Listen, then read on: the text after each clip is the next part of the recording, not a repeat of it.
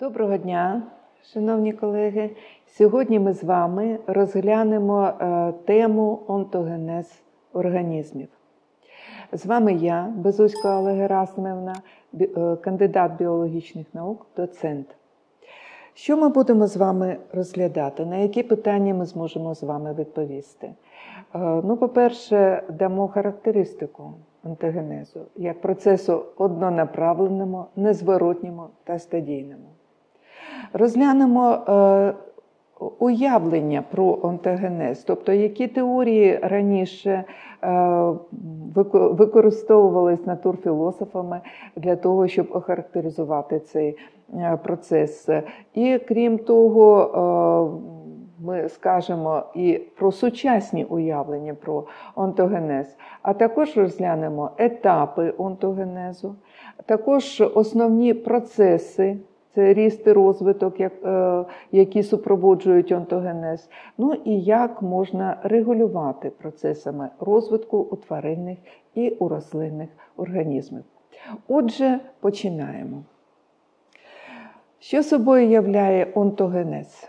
Ну, Іншими словами, це що? Це індивідуальний розвиток особини. Вся сукупність його перетворень від зародження до смерті від зародження і до смерті. Але з чого може починатися розвиток е, особини? Може, звичайно, з зиготи. Може, з заплідненої яйцеклітини, так, зиготи. Може початися з незаплідненої е, клітини. Е, шляхом партеногенезу буде розвиватися на перших етапах цей організм. Так? Е, от. Може е, з якихось багатоклітинних зачатків, якщо організми розмножуються вегетативно. Так? А крім того, треба ще і розглянути варіанти смерті. Чим може закінчуватися індивідуальний розвиток особини? Якщо це одноклітинні організми, ну, наприклад, такі як е, інфузорія, там, евглена, зелена, ну, одноклітинні, то е, вони е, можуть завершувати своє існування шляхом поділу материнської клітини на дві дочірні. Тобто е, ось цієї материнської клітини немає, а вона померла, її немає. Але чого немає при цьому? Ну, вибачте, небіжчика немає. Тобто, все, що було в цій материнській клітині, буде розподілятися на дочірні клітини і все. І нічого не залишається. А якщо ми маємо справу з багатоклітинними організмами, то в цьому випадку що? Ну, е, Організм завершує е, завершує своє існування дійсно е, смертю. От. Соматичні клітини, сома, вона помирає. Вона буде е, буде практично там, е, ну, перетворюватись на якісь е, уже на рівні речовин, так? буде розкладатися. А що ж тоді залишається? А залишається лише генетична інформація, якщо ця клітина брала участь в процесах розмноження, тобто передає безсмертною є що? Генетична інформація, а тіло сома воно смертне. Термін онтогенез.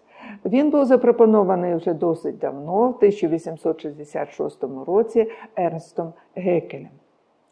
Е, справа в тому, що дійсно цей індивідуальний розвиток е, він е, він почав розглядатися ще з давніх давен.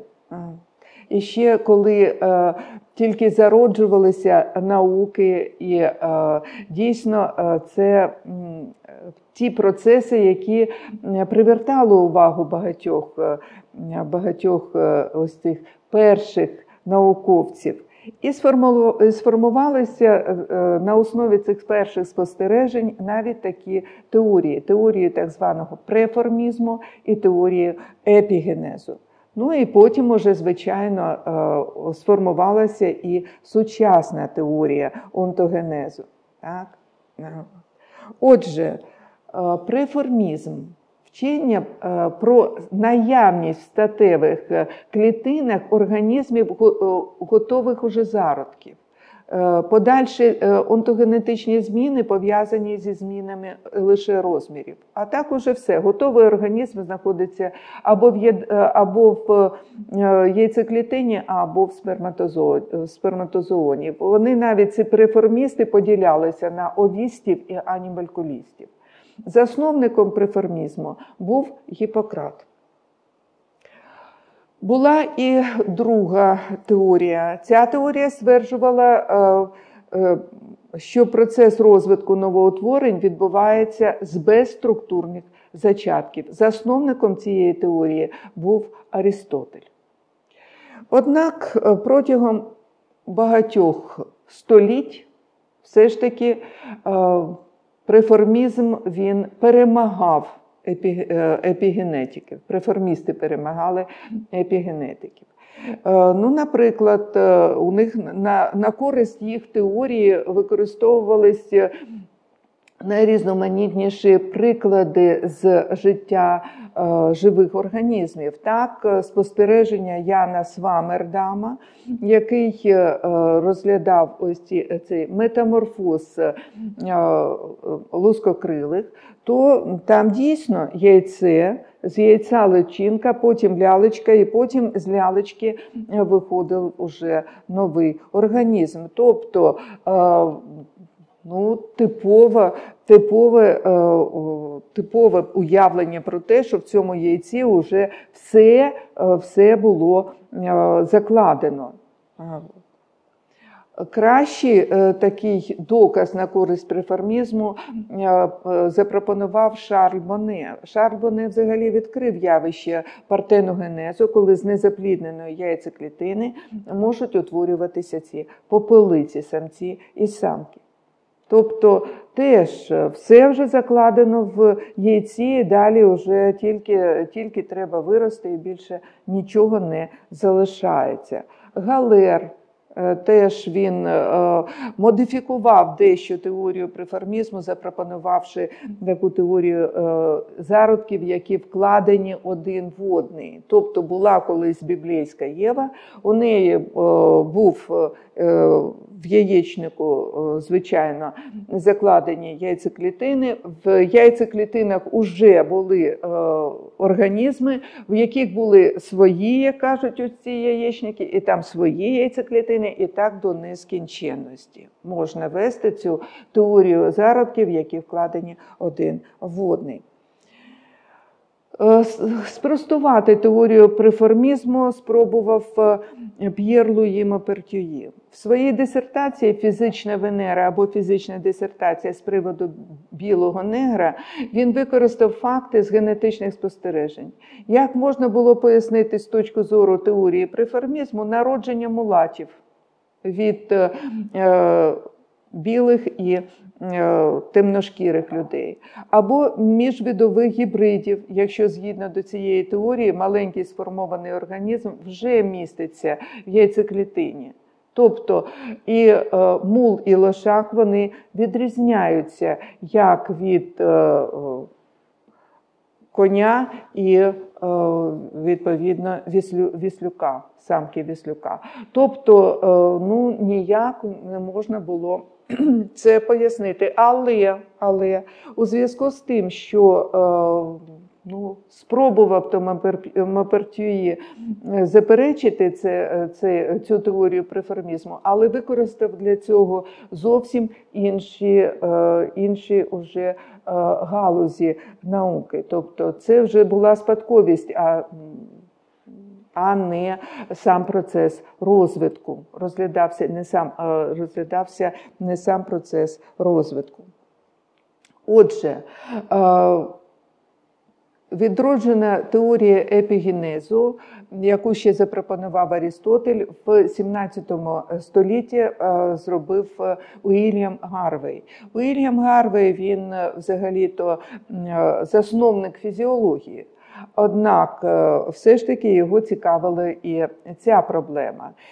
Принцип теза все з яйця, так, і все було б ну, як кажуть, можна було погодитися, але Якщо Аристотель він для пояснення пояснення процесу розвитку з безструктурних зачатків він використав життєву силу під назвою інтелегію, то е, чим відрізнялася уже теорія епігенезу Гервея від Арістотелівської, те, що він замість інтелегії запропонував так звану пластичну силу. Тобто, а за рахунок чого відбуваються процеси розвитку?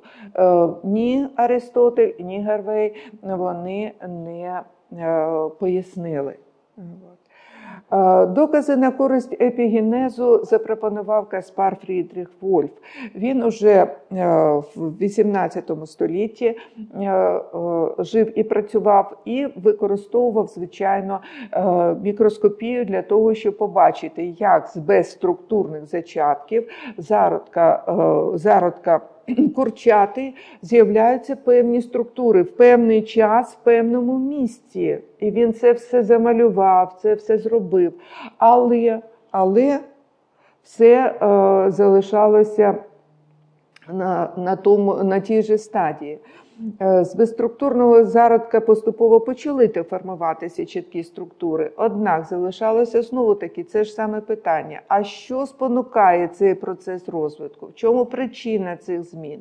І тоді Вольфу у якості причини е, теж е, запропонував е, ну, дещо схоже, але назвав він цю життєву силу есенцією але вона нічим не відрізнялася від ентелегії або пластичної сили. Тобто він довів, але пояснити не зміг. От. Яке ж сучасне уявлення про онтогенез? Онтогенез це процес реалізації генетичної інформації зиготи в конкретних умовах оточуючого середовища. Тобто, в чомусь були, мабуть, е, праві приформісти в яйці або краще сказати, в зиготі що знаходиться?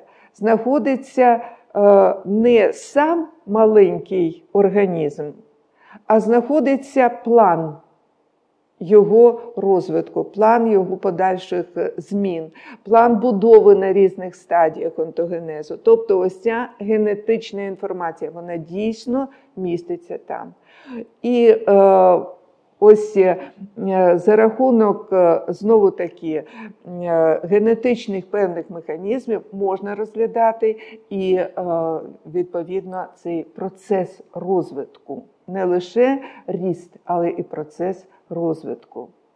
І він дуже буде залежати, особливо якщо це ембріональний розвиток від конкретних умов оточуючого середовища. Саме тоді, коли закладаються певні структури, необхідно, щоб і щоб ніяких не було е, пошкоджень, ніяких не було вроджених аномалій. Треба, щоб дійсно ось ці умови оточуючого середовища були бездоганними.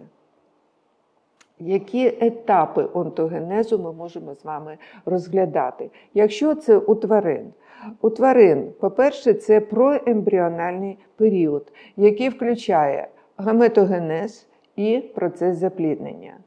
Далі ембріональний період, який буде включати процеси дроблення, гастроляція, процес е, утворення е, зародкових шарів.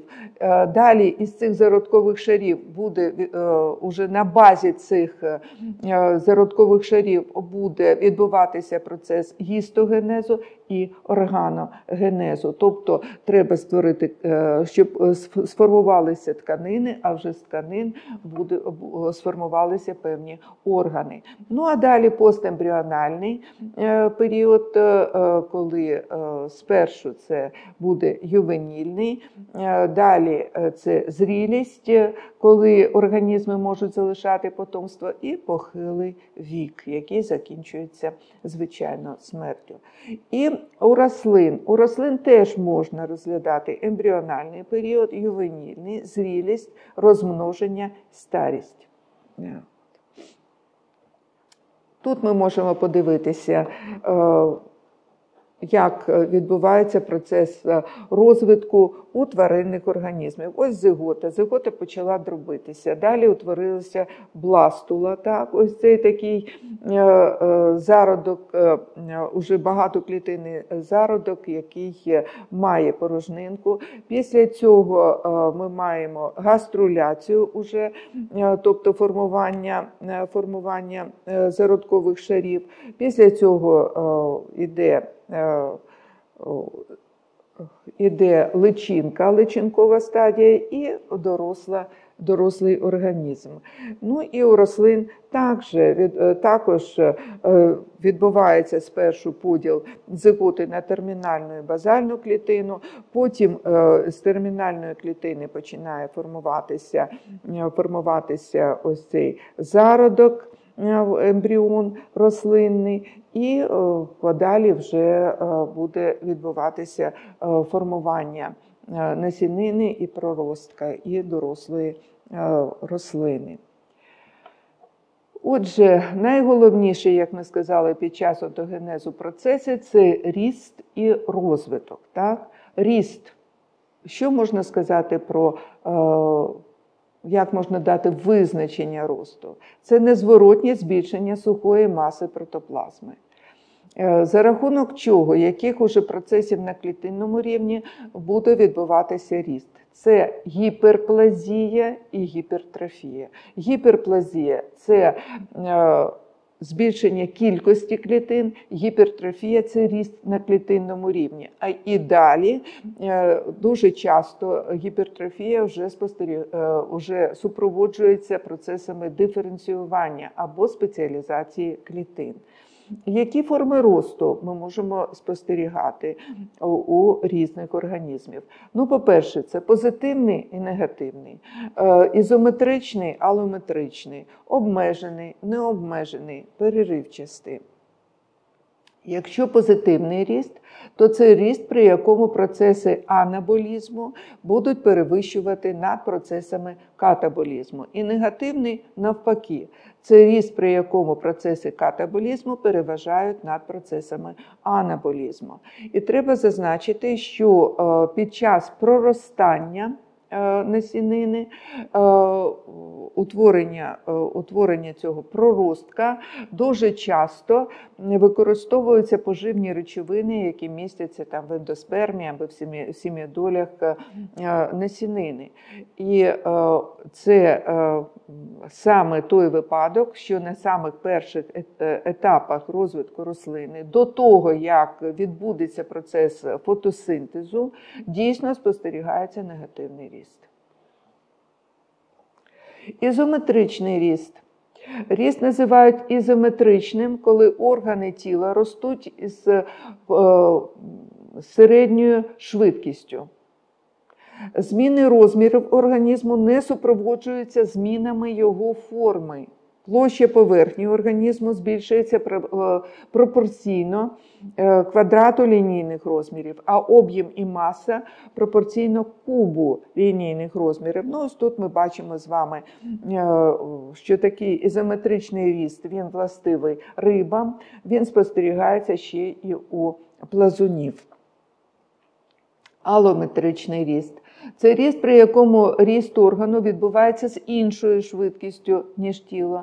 Такий ріст свідчить про існування залежності між ростом і розвитком. І він характерний, ну, наприклад, для ссавців і для людини як представника цих ссавців. Ріст обмежений, необмежений. Обмежений ріст, е, звичайно, він буде виходити на певне плату. От цей ріст е, організмів, так, а необмежений він не виходить на плато, він поступово е, характеризує е, збільшення цих організмів протягом років. Так. Ну і може ще бути ріст переривчастий. Він характерний для членистоногих, ракоподібних комах які мають неповне перетворення. перетворення. Тобто, коли е, ріст ще і е, супроводжується певним линянням, так? коли скидаються ці е, покриви, які заважають, і потім утворюються нові. Типи онтогенезу можуть бути прямий онтогенез і непрямий. Якщо прямий, то дві форми цього прямого е, онтогенезу це неличинковий і внутрішньоотробний. А непрямий він обов'язково передбачає наявність личинкової стадії. Це аметаболія, геміметаболія і голометаболія. Якщо аметаболія, то звичайно ця личинка дуже схожа на дорослу особину. Так? Геміметаболія ще треба додаткові такі зміни, зміни будови. Цієї личинки, і голометаболія це з повним перетворенням з повним перетворенням, тобто, коли личинка е, відрізняється від дорослої особини е, і е, своїм способом життя, і формою, і розмірами, і так далі. Як регулюється процес розвитку у безхребетних тварин?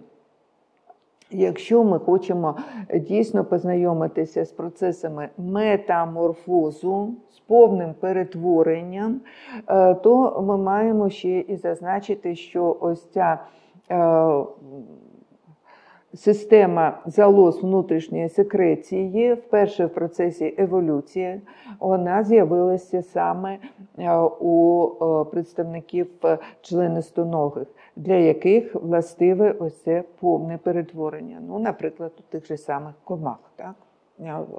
Ось ми бачимо тут личинкова стадія, стадія лялечки і дорослої особини.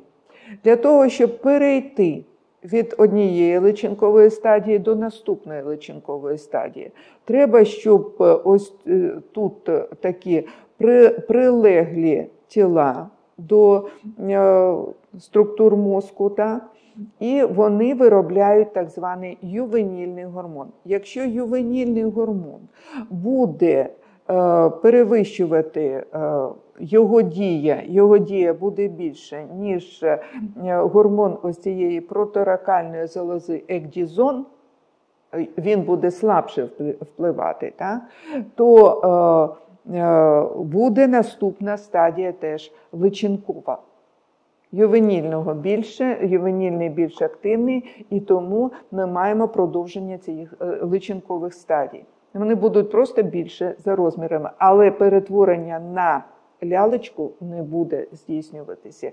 І лише тоді, коли е, ось цей гормон протиракальної залози, так званий екдізон, не подіє, уже його е, його активність буде більше, ніж ювенільного гормону, тоді буде відбуватися.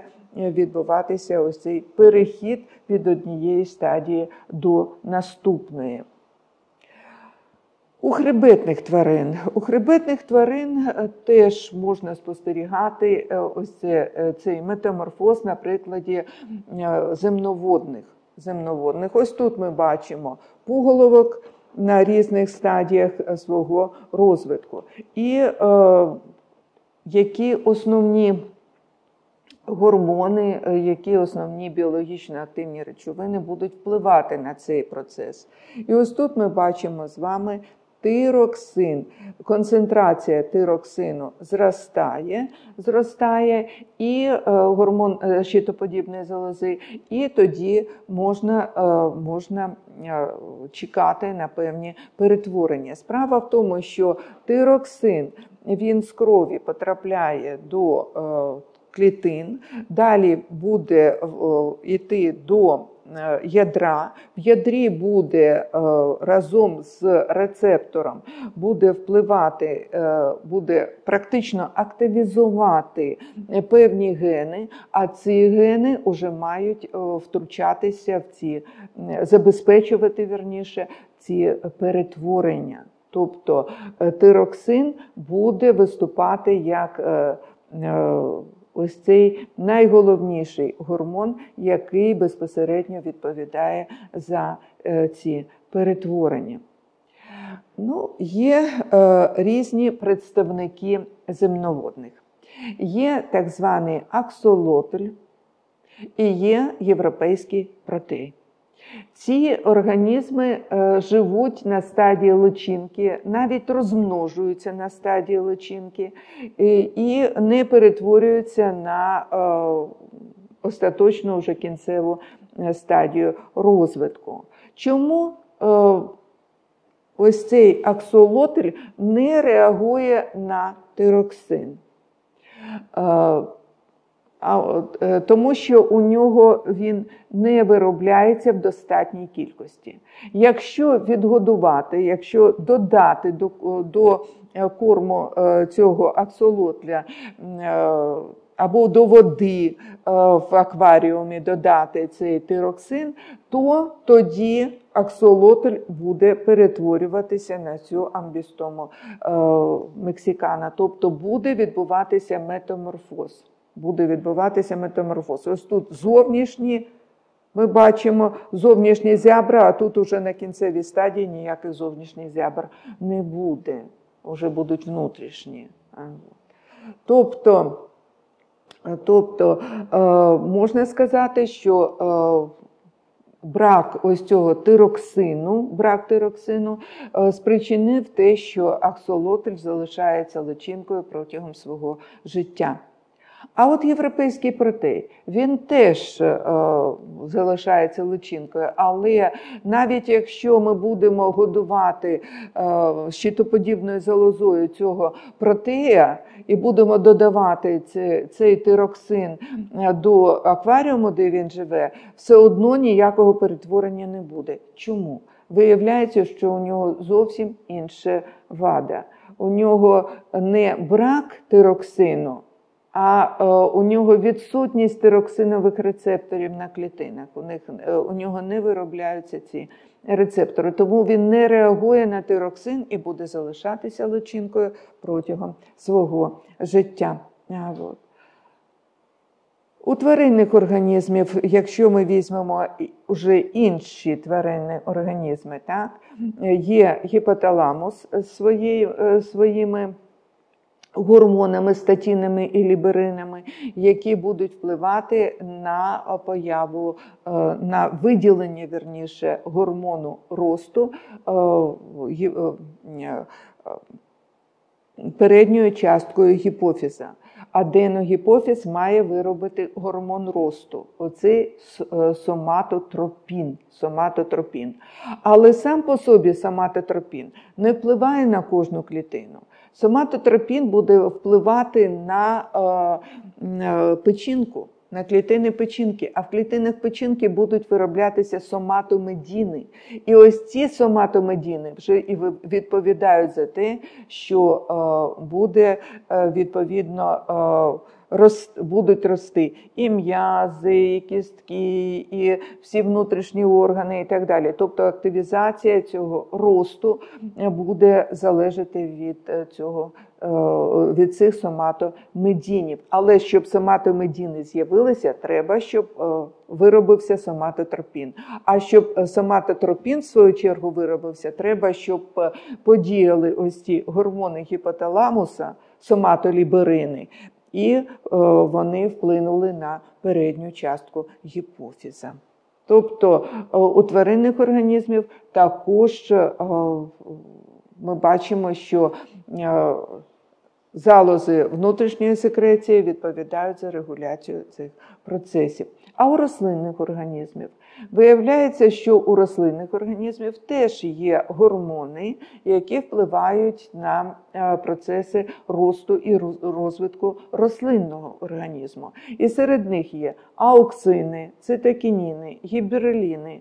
Ну і є е, такі це активатори, практично, ауксини, цитокініни і е, гібереліни, тоді як етилен і абсцисова кислота вони виконують е, е, таку функцію гальмівних регуляторів. Якщо ауксини як вони впливають на рослинний організм? Подовження стебла, формування коренів, інгібіція е, опадання листя, тобто вони затримують, затримують опадання листя, стимулюють клітинні поділи разом з цитокінінами. Якщо цитокініни, що вони будуть робити?